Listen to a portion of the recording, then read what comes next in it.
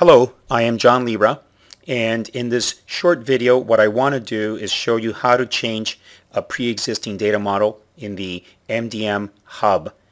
I am a technical trainer and also a consultant for the Master Data Management product line of Informatica and so I just want to give you a feeling for how easy it is or the process of it. I'll let you be the judge if you think it's easy or not. I'll just give you the process and some pros and cons and gotchas on this. So let me begin by logging in to the MDM hub. Notice that I'm using uh, Informatica MDM version 9.5. I am going to log in as administrator. That's the user that I'm logging in because that I know has everything that I need.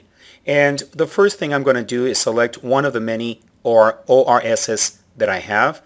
Now, the the assumption I'm making that you know a little bit of MDM and you know what an ORS, it's where our metadata models are stored.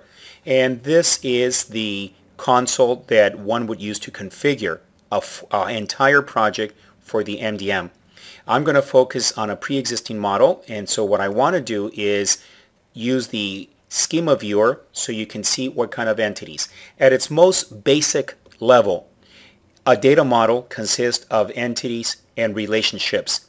Now, it's going to get more difficult because the data model consistent of ERs is pretty straightforward. However, our entities are very complex objects known as base objects. Base objects, not only do they represent entities, but they represent so much more. And I'll talk about that. So here's a pre-existing very small data model, has category, subcategory, customer, and then a uh, many one-to-many relationship of addresses. You can have a build to a ship to address. So that's my data model.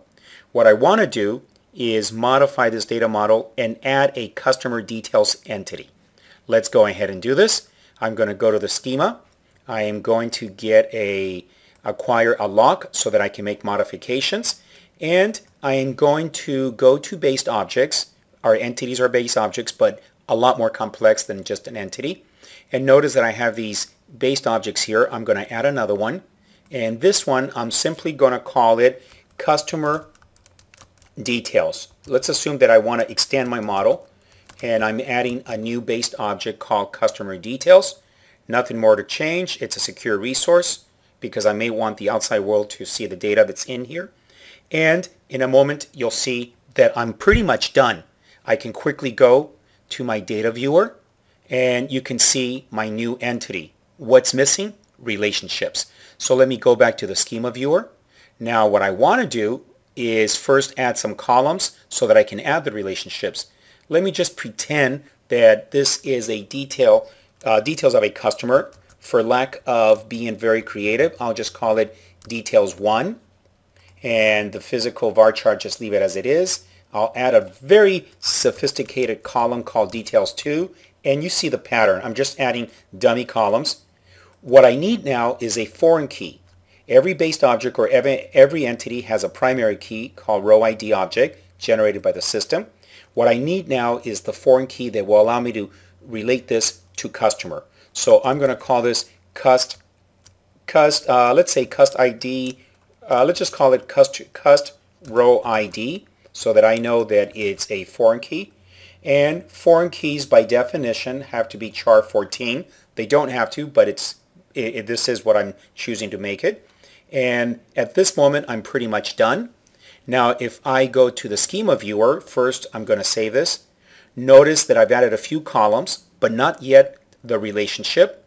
And in a moment, as soon as it finishes, you can see it right there. Oops, what happened to my columns? Ah, don't forget, you should refresh and there goes there goes my customer details. Again, what's missing? The relationship. Very, very easy. Here is the base object, which is my entity, customer details.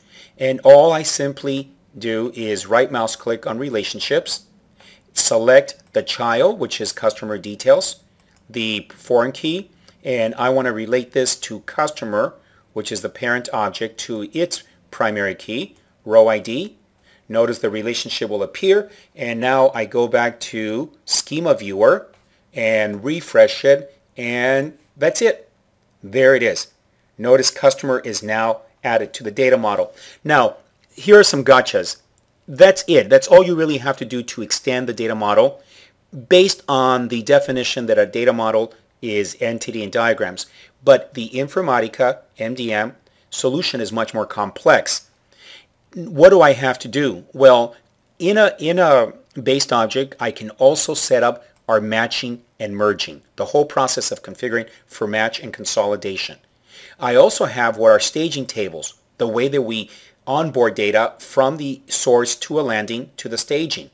And then I have something called, once I create staging tables, I have the cross-reference. So it is more complex.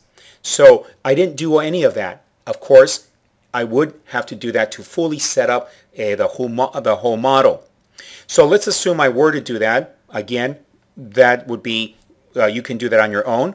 So I am just want to let you know there's a, a few steps. Once I do that, don't forget that I also have to configure mappings, possibly, uh, queries, and packages. So once you do that, you would have it a complete data model.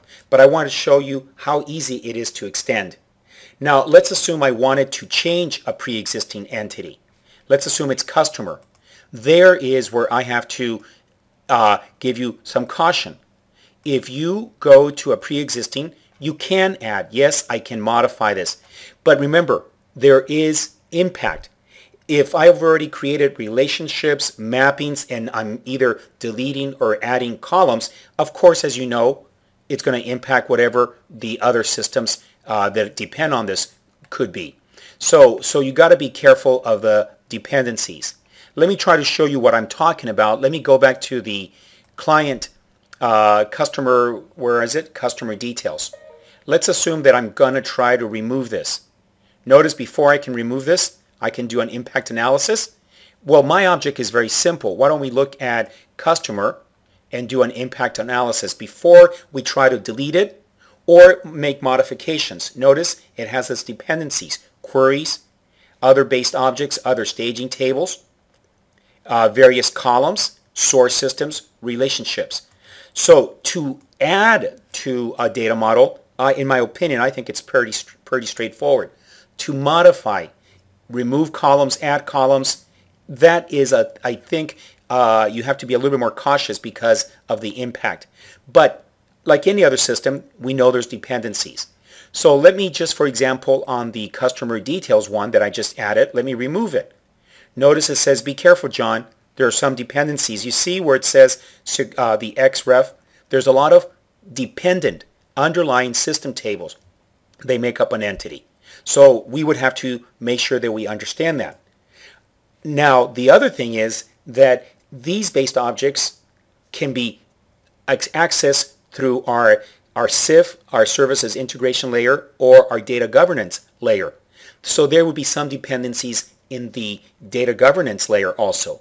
So again, if the question is, can I enhance my data model? The answer is yes, very straightforward. You saw me do that very quickly.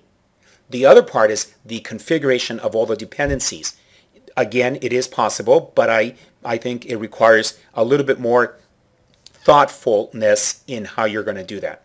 And then lastly, I think it's always a good idea to validate your ORS to make sure that you did not introduce any any logical errors into the data model. So all I do is go to validate and just wait a few seconds and now it's going to validate my data model. And with that in mind, that concludes the short presentation on how to enhance a pre-existing data model. Thank you very much. And again, I am John Lira